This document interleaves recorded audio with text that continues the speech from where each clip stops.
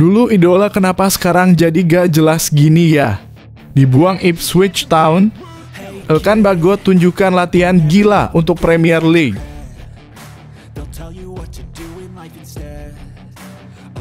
Hebatnya tim Pak Erick Thohir, sampai terjunkan tim khusus, Kevin Dix benar-benar diincar serius untuk timnas Indonesia.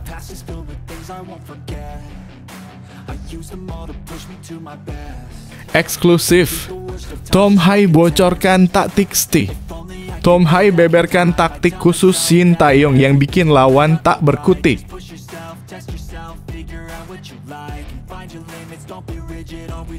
Ivar Jenner bicara tentang satu laga epik tak terlupakan saat membela timnas Indonesia.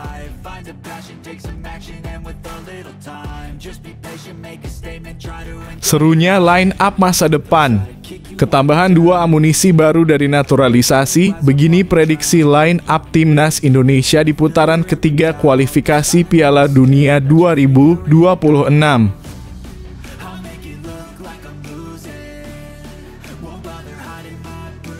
Pratama Arhan tantang bintang baru timnas. Ambisi mengalahkan Calvin Verdon. Pratama Arhan ungkap strategi mengejutkan.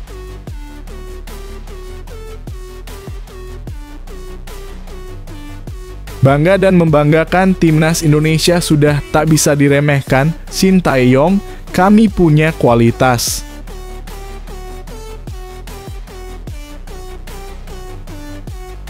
Arthur Irawan jangan sampai hancur lebur seperti Thailand dan Vietnam. Harapan besar untuk timnas Indonesia di kualifikasi Piala Dunia 2026.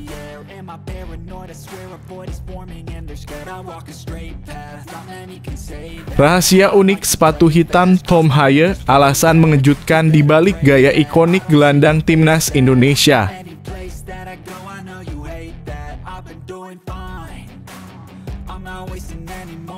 Optimisme tak terduga. Sintayong targetkan prestasi mengejutkan di kualifikasi Piala Dunia 2026.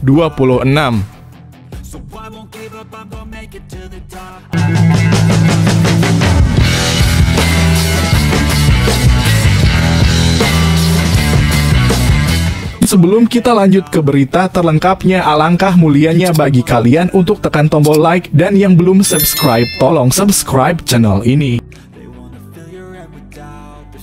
Dulu idola kenapa sekarang jadi gak jelas gini ya? Dibuang Ipswich Town, Elkan Bagot tunjukkan latihan gila untuk Premier League. Back timnas Indonesia Elkan Bagot memperlihatkan sesi latihan pribadinya sebagai persiapan menghadapi musim 2024 hingga 2025. Setelah lama tidak aktif di Instagram sejak liburan, Bagot kini kembali dengan mengunggah video latihannya. Latihan ini kemungkinan besar dilakukan Bagot untuk mempersiapkan diri menghadapi musim mendatang. Dalam video tersebut, ia berlatih bersama rekan dari Ipswich Town, Fraser Alexander. Cuplikan latihannya dapat dilihat di akun @4outball yang menyertakan keterangan memulai pekan dengan ledakan dan menambahkan sesi standar tinggi dengan dua pemain Ipswich Town, Elkan Bagot dan Fraser Alexander. Pada musim 2024 hingga 2025, Ipswich Town akan berlaga di Premier League. Namun nasib Elkan Bagot masih belum pasti apakah ia akan masuk skuad utama The Tractor Boys. Musim lalu Bagot dipinjamkan kedua klub berbeda dan bermain di Ligue 1 dalam kurung kasta ketiga. Bursa transfer Liga Inggris yang resmi dibuka pada Jumat 14 Juni 2024 memunculkan spekulasi bahwa Elkan Bagot mungkin akan dilepas oleh Ipswich Town. Media lokal East Anglian Daily Times memprediksi Bagot akan pindah ke klub lain untuk musim depan karena kontraknya di Ipswich tinggal satu tahun lagi. Inilah momen yang tepat bagi Ipswich untuk menjual Bagot dengan harga terbaik.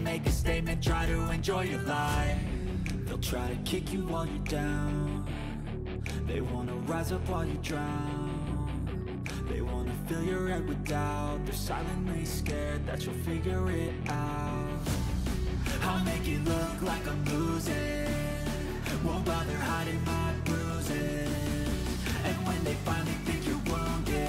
Hebatnya tim Pak Erick Thohir.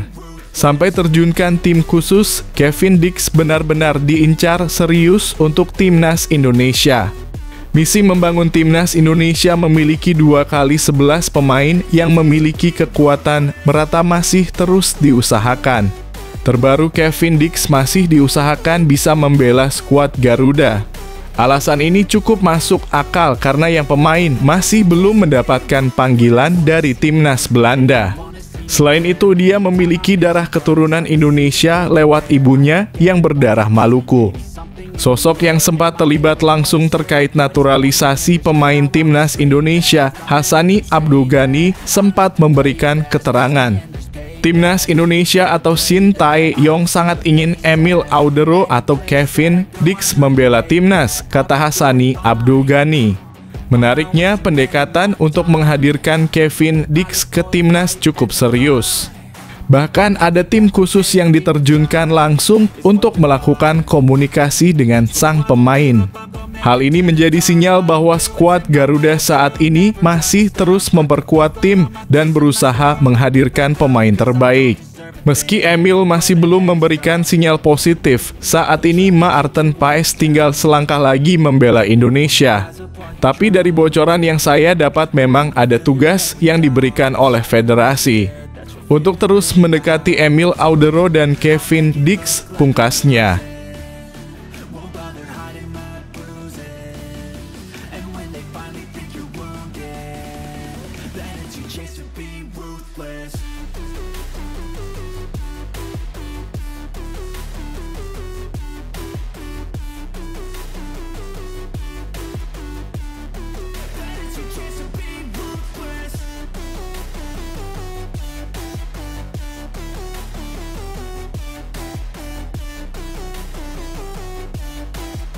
Eksklusif Tom Hai bocorkan taktik Sti Tom Hai beberkan taktik khusus Shin Taeyong yang bikin lawan tak berkutik Gelandang timnas Indonesia, Tom Haye, berbagi tentang instruksi khusus dari pelatih Shin Taeyong. Haye, yang kini menjadi pemain kunci di lini tengah skuad Garuda, sudah mengoleksi tiga caps di timnas. Perannya sebagai gelandang sangat penting karena ia harus menjadi penghalang pertama sebelum lawan mencapai lini pertahanan Indonesia. Selain itu, umpannya dari lini tengah sering kali menciptakan ancaman bagi lawan. Tom Haye mengungkapkan bahwa Shin Tae-yong memiliki strategi unik. Salah satu strateginya adalah memberikan kebebasan bergerak kepada pemain saat mencari posisi, terutama ketika tim sedang melakukan serangan. Di sisi pertahanan, pemain dituntut untuk tampil solid dan kompak sebagai satu tim. Kita memiliki penetapan yang baik, Misalnya apa yang harus dilakukan dalam pertahanan, jelas Haye. Namun ketika kita menguasai bola, dia dalam kurung Shin Taeyong ingin kami mengambil inisiatif untuk menemukan ruang gerak. Shin Taeyong sering menekankan pentingnya inisiatif individu, namun tetap harus dilihat sebagai upaya tim yang saling mendukung.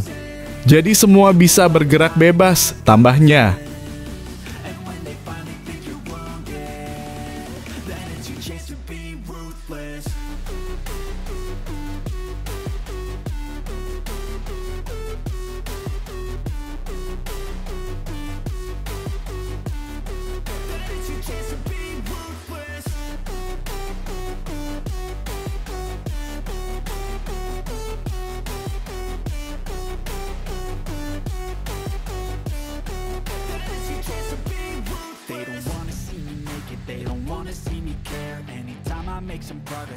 Ivar Jenner bicara tentang satu laga epik tak terlupakan saat membela timnas Indonesia. Benar-benar sejarah hidupku ujarnya. Gelandang timnas Indonesia Ivar Jenner mengungkapkan bahwa pertandingan melawan Argentina masih sulit dilupakan.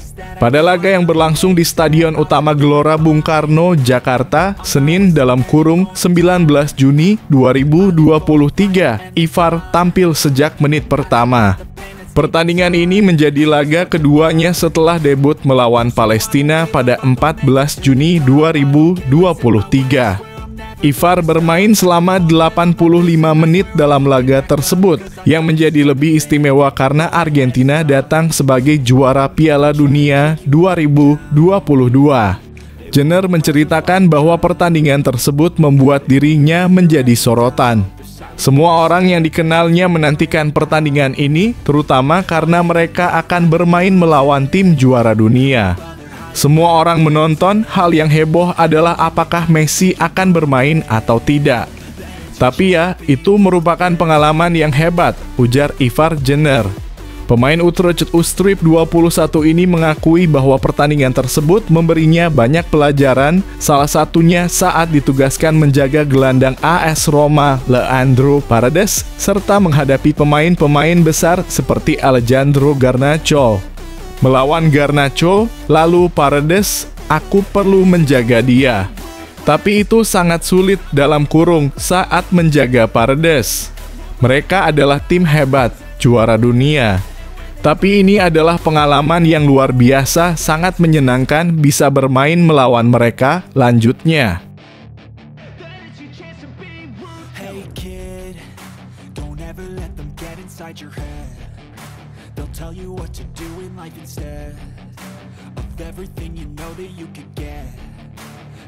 them guide your life towards regret. I'll fight for what I love with every breath. My past is filled with things I won't forget. I use them all to push me to my best. So treat the worst of times just like a test. Serunya line up masa depan. Ketambahan dua amunisi baru dari naturalisasi, begini prediksi line up timnas Indonesia di putaran ketiga kualifikasi Piala Dunia 2026. Timnas Indonesia berpotensi ketambahan dua amunisi baru melalui jalur naturalisasi sebelum putaran ketiga kualifikasi Piala Dunia 2026 zona Asia digelar. Skuad Garuda berhasil mengamankan jalan ke putaran ketiga kualifikasi Piala Dunia 2026 zona Asia pada bulan ini berkat kemenangan 2 hingga 0 atas Filipina. Di putaran ketiga nanti, lawan-lawan yang akan dihadapi oleh timnas Indonesia akan jauh lebih bergengsi. Tim-tim seperti Jepang, Korea Selatan, Iran, dan Australia berpotensi menjadi lawan timnas Indonesia. Tayal perkuatan tim pun wajib dilakukan oleh Shin Tae-yong dan naturalisasi pemain keturunan masih terus dilakukan oleh PSSI. Setelah yang terbaru Calvin Verdon yang debut di laga kontra Filipina pada 11 Juni lalu, kini ada dua nama baru yang muncul. Mereka adalah Kevin Dix dan Ole Romanyi sebagaimana diklaim oleh pandit senior Roni Pangemanan alias Bung Ropan dalam kanal YouTube-nya baru-baru ini. Prosesnya tentu masih panjang karena hingga saat ini pun mereka berdua masih belum bersalaman dengan Ketua Umum PSSI, Erick Thohir, yang seakan mengonfirmasi proses naturalisasi. Kendati begitu, tentunya kehadiran mereka berdua akan menambah kualitas timnas Indonesia, mengingat Dix dan Romani bermain secara reguler di klubnya masing-masing. Dix merupakan seorang back tengah, Meski sektor ini cukup penuh, seseorang dengan kualitasnya tentu akan menjadi sangat berharga sebagai teman Jay Itzes dan Rizky Ridho di lini pertahanan. Sedangkan oleh Romani adalah striker yang selama ini dianggap sebagai sektor yang kurang di skuad timnas Indonesia.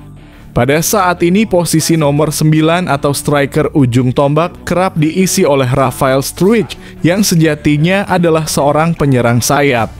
Jika Romani sudah tiba, maka Struij bisa dikembalikan ke sisi sayap selagi Marcelino Ferdinand dicadangkan. Struij akan menopang Romani yang menjadi nomor 9 selagi sisi sayap kiri tetap diisi oleh Ragnar Oratmangoen.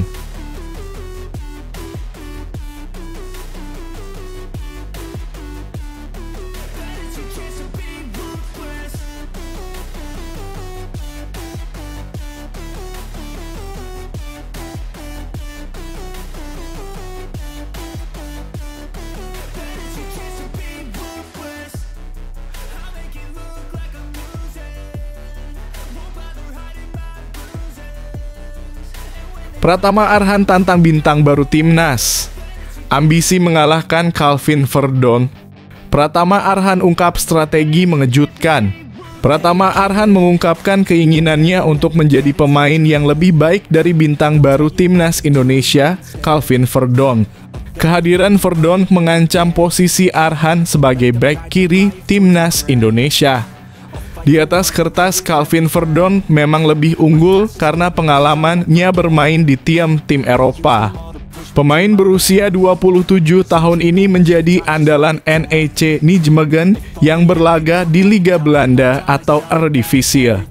Musim lalu ia tampil dalam 40 pertandingan di semua kompetisi, mencetak 2 gol dan memberikan 3 assist. Kemampuan Verdon terbukti saat ia menjalani debut bersama skuad Garuda dalam kualifikasi Piala Dunia 2026 zona Asia melawan Filipina. Meski baru sekali bermain, Verdon langsung menunjukkan dominasinya di sisi kiri pertahanan timnas Indonesia. Pratama Arhan pun memberikan pujian kepada Verdon menyebutnya sebagai pemain berkualitas tinggi. Saya melihat permainan Calvin Verdon sangat luar biasa. Pengalamannya benar-benar luar biasa, ujar Arhan. Meskipun Verdonk lebih berpengalaman, Pratama Arhan tidak menyerah dalam mengejar tempat di tim utama timnas Indonesia. Pemain Suwon FC ini justru banyak belajar dari Verdon agar bisa menjadi lebih baik. Calvin Verdon perlu waspada karena Pratama Arhan bertekad untuk menjadi pemain yang lebih baik. Saya senang dengan kedatangan pemain baru yang berpengalaman. Saya harus belajar bagaimana caranya bisa menyamai atau bahkan mengungguli dia, tegasnya.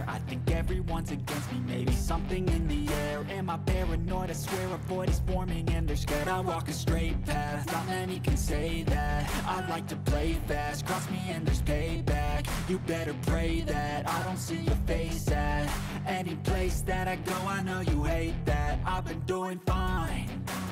I'm not wasting any more time. I live for the fight and the climb. And I think that the pain that's deep inside Is what defines Bangga dan membanggakan timnas Indonesia sudah tak bisa diremehkan. Shin Taeyong, kami punya kualitas. Pelatih timnas Indonesia Shin Taeyong berbicara tentang perkembangan skuad Garuda. Shin melewati perjalanan yang tidak mudah sebelum membawa timnya lolos ke putaran ketiga kualifikasi Piala Dunia 2026 zona Asia. Memulai debut sebagai juru taktik Indonesia sejak tahun 2020, dia perlahan mulai membangun skuad andalannya. Pandemi COVID-19 sempat menghambat kerjanya sebelum akhirnya kembali bisa perlahan meningkatkan kualitas skuad. Terbaru dia mampu membawa ranking FIFA Indonesia dari 173 hingga saat ini berada di posisi 134. Indonesia juga baru saja jadi tim yang memiliki kenaikan ranking paling tinggi yakni 8 peringkat. Termasuk naik dengan poin tertinggi dengan 30 poin. Salah satu faktor yang paling berpengaruh adalah penampilan solid mereka yang sukses mencapai babak 16 besar Piala Asia 2023. Posisi ranking FIFA yang tinggi juga tidak menjamin mereka bisa lolos ke putaran ketiga kualifikasi Piala Dunia dengan mudah. Mungkin terdengar sombong, tapi level Indonesia saat ini di peringkat FIFA hanyalah sebuah peringkat, jadi cukup kecil. Bahkan jika kita mendapatkan peringkat dalam kurung lebih tinggi, kita akan mendapatkan tantangan yang berat, kata Shin Taeyong. Shin menegaskan bahwa pemain yang berada di timnas Indonesia memiliki kualitas. Mereka juga mampu menyatu sebagai sebuah tim dan tentunya ini jadi keuntungan tersendiri bagi pelatih. Tugasnya tinggal memaksimalkan semua kekuatan yang ada di skuad Garuda. Tetapi sebenarnya secara keseluruhan pemain tim nasional kita cukup berbakat dan itu hal yang baik. Ada banyak pemain bagus, jadi itu sangat membantu tim, ujarnya.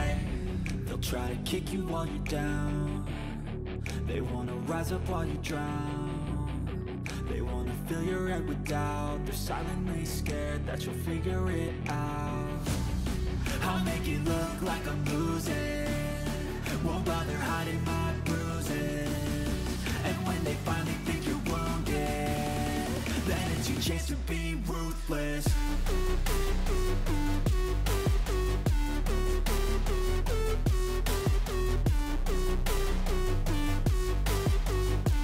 Arthur Irawan jangan sampai hancur lebur seperti Thailand dan Vietnam. Harapan besar untuk timnas Indonesia di kualifikasi Piala Dunia 2026. Timnas Indonesia telah berhasil mengamankan tiket keputaran ketiga kualifikasi Piala Dunia 2026 zona Asia menjadi satu-satunya wakil dari Asia Tenggara yang melaju ke babak ini. Negara-negara tetangga seperti Myanmar, Singapura, Malaysia, Thailand, dan Vietnam tidak berhasil mengikuti jejak mereka. Dengan pencapaian ini diharapkan tim Merah Putih bisa bersaing memperebutkan tiket ke Piala Dunia 2026. Ini adalah sejarah baru bagi timnas Indonesia yang untuk pertama kalinya berhasil melaju ke ronde yang menentukan tiket langsung ke turnamen sepak bola terbesar di dunia. Sebelumnya, Thailand dan Vietnam pernah melaju hingga putaran ketiga kualifikasi Piala Dunia.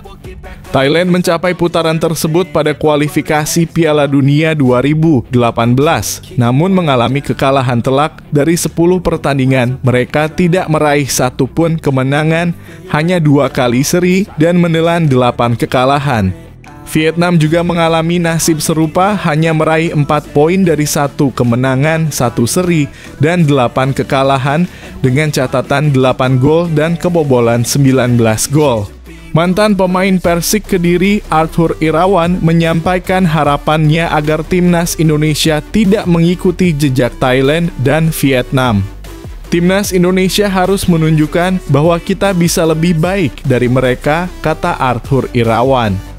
Pasti harapan kita semua adalah timnas Indonesia bisa melanjutkan prestasi di putaran ketiga kualifikasi Piala Dunia 2026 zona Asia. Namun apa pun yang terjadi nanti, saya sudah bangga dengan prestasi timnas Indonesia, apalagi mengingat Vietnam dan Thailand saja sudah gagal.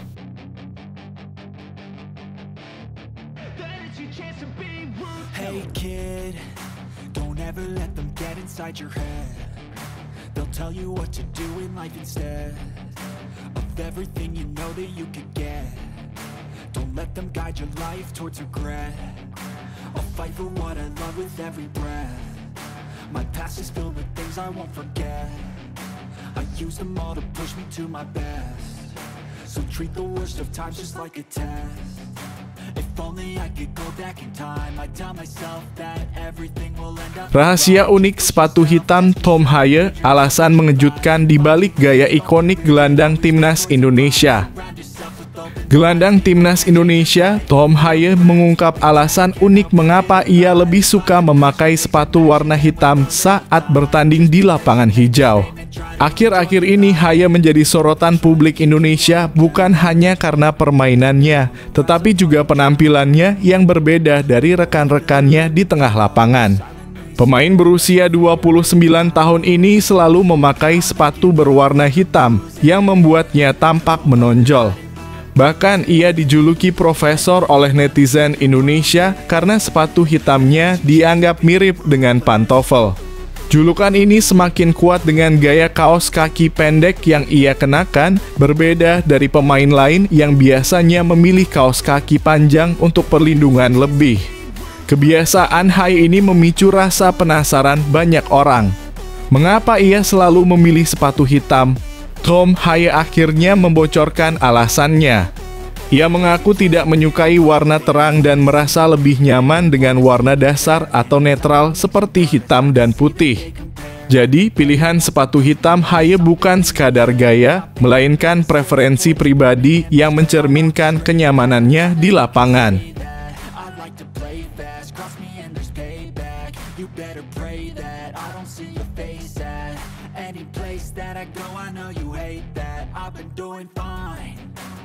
I'm not wasting any more time.